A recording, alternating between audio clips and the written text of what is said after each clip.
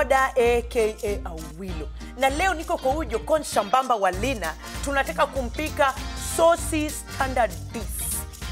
Lina, hebu nieleze usuri wa soya. Soya ina nguvu ya kujenga misuli. With up to 43% of protein, soya bean is one of the best sources of protein around. kumaanisha ya kwamba sio chakula wa haraka haraka tu, pia ni chakula ya afya. Donge, tuingie kwa jokoni. Hizi ndio viungo utakazohitaji kwa kumtengeneza sosi standard piece. Tutaanza kwa kumweka sosi pieces kwa bakuli, kisha tumsok kwa kikombe nusu wa maji baridi kwa dakika tano. Wakati sosi unamsok, tutachukua sufuria tuweke kwa moto, tuongeze mafuta na tuweke otungu uive mpaka ukue golden brown. Kisha tutamweka nyanya ambayo imekatwakatwa na tuwache mchanganyiko uive kwa dakika mbili. Sasa tutaongeza sosi pieces zetu na tukoroge sawasawa.